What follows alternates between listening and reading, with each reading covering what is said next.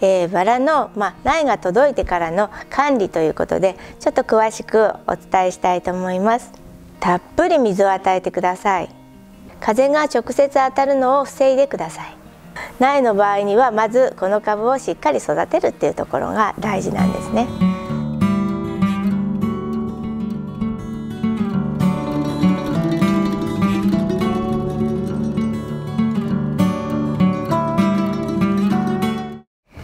さんこんにちは。山梨県のバラ苗専門店小松ガーデンの後藤みどりです。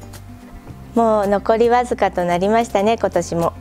えー、バラの手入れもそこそこ皆さん進めていらっしゃるとは思いますが本当に、えー、今年1年ご愛顧いただきありがとうございました。バラの手入れでまたわからないことがあったら過去の動画も見ながら、えー、やっていただきたいと思うんですがまだあのやってない動画で今日は、えー、バラの、まあ、苗が届いてからの管理ということでこの冬場にやはり急に寒くなったり暖かい日があったり結構冬もあのいろいろ天候が不順になりますのでそういう中でどんなような管理をしたらいいかちょっと詳しくお伝えしたいと思います。えー、先日購入したお苗の植え付け方をお伝えしましたがえー、その後の春までの管理を今日はお伝えします。弊社農場は山梨県の笛吹市伊沢町にあります、えー、一番寒い時には、えー、マイナス7度ぐらいになりますが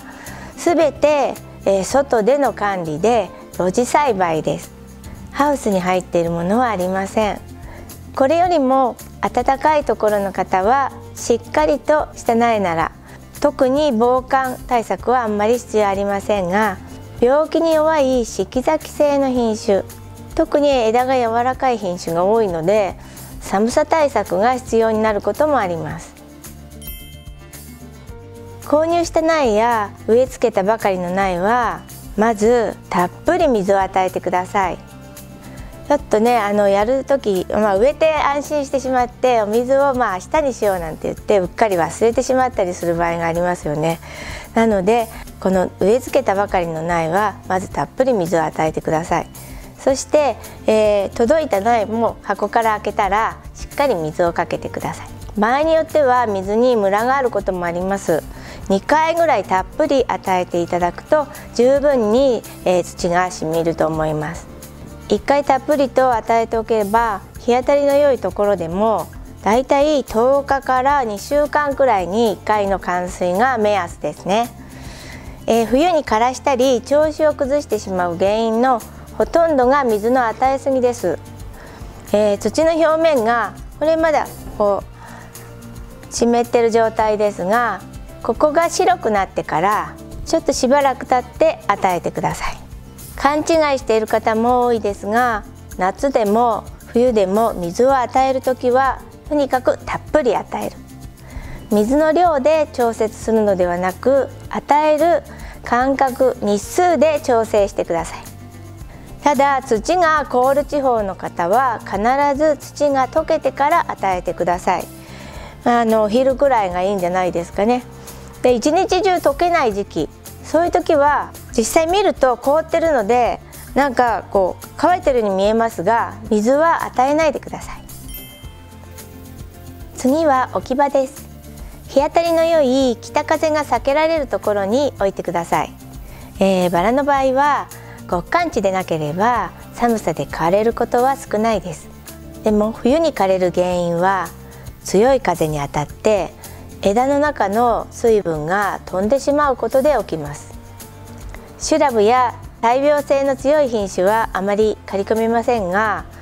病気に弱い四季咲き性品種などは注意が必要です。このような品種は団地でも寒冷車などで風が直接当たるのを防いでください、えー、ではちょっと強い風から守るために寒冷車を巻いてみます。そんなに難しく考えないで大丈夫なんですけど一重だとちょっと不安なので二重か30くらいこう巻いていただくといいですね。で紐みたいなのでしっかりちょっと飛ばないように押さえます。あんまり緩くしすぎるとね中でこれが動いてしまって傷む原因になっちゃうかもしれないのでちょっとしっかり巻いてもいい。よいしょ。こんな感じでできまし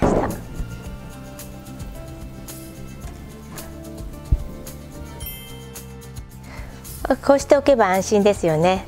でさらにお家の東側や南側の日だまりみたいなところに置けばなお暖かいので軒があるととても理想的です。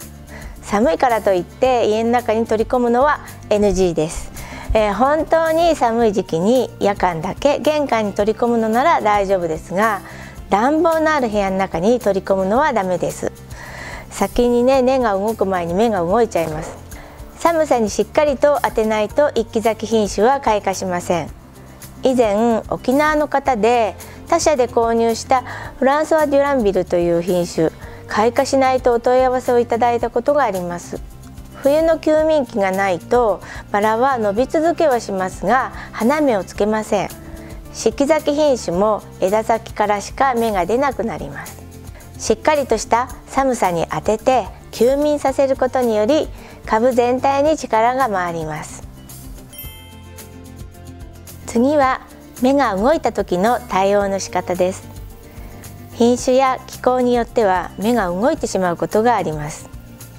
これはお住まいの地域によりだいぶ違います。基本的には何もしなくて大丈夫です。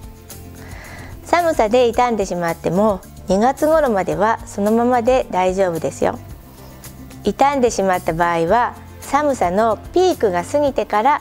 他の芽が膨らんだ頃に傷んだ芽を軽く切り戻してください。バラは目の左右に複画があります。予備の目なんですよね。真ん中の目が傷んでも複画があるので基本的には問題ありません。次は消毒を始めるタイミングです、えー、過去の動画でもご紹介していますが寒さが緩み目が動いた時から開始します、えー、地域によって違いますがだいたい3月から4月ぐらいです。この頃一度しっかり消毒しておくと通常は一番花の時に黒星病が発生することはありません。過去の動画をよく見てチェックしてくださいね。次は追肥です。お使いの肥料により違うので一概には言えませんが元肥を規定量しっかり入れて栽培している方は3月の下旬から4月の上旬に置き肥で追肥します。一応お使いの肥料の指示に従って与えてくださいね。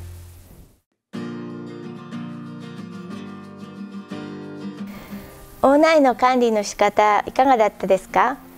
えー、実際今年は暖かいので、まあ、剪定した芽もすぐ動き出したりこうやって届いた応援苗も芽が出てきてしまったり、まあ、地域差はあるにしても比較的、まあ、こういうふうにあったかい12月はこんなふうになってきてしまいますけど、まあ、心配しなくても大丈夫です。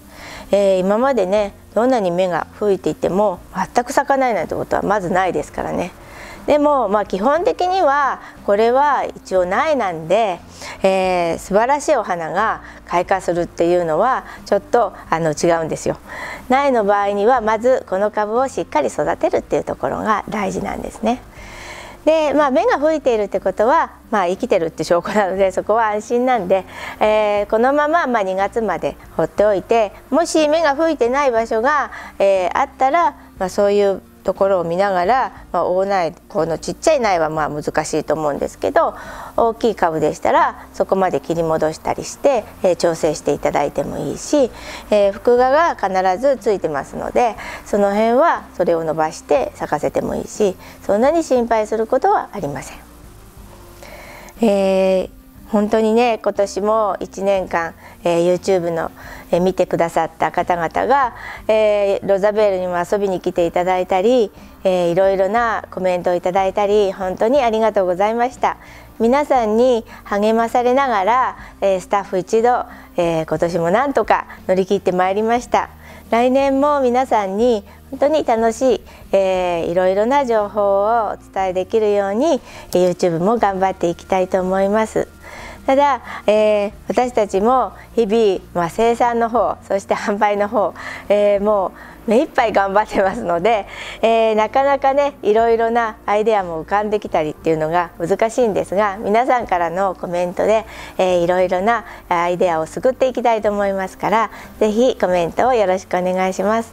えー、実店舗のロザベールは1月7日からオープンします。まず、えー、恒例の初売りをしますのでぜひ皆さん遊びに来てくださいね。バラの福袋も私のチョイスで素敵なのがありますよ。ただ今年はなんか